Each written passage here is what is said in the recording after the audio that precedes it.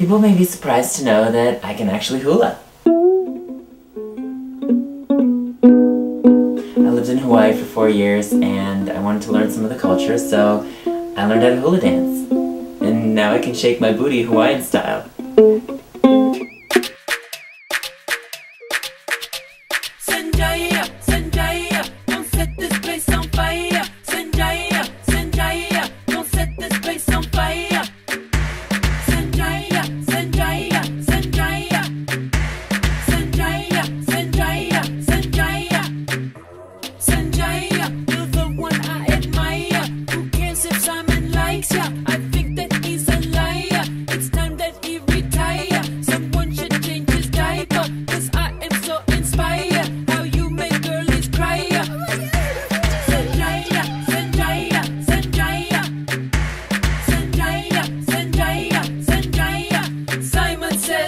adorable. America says adorable.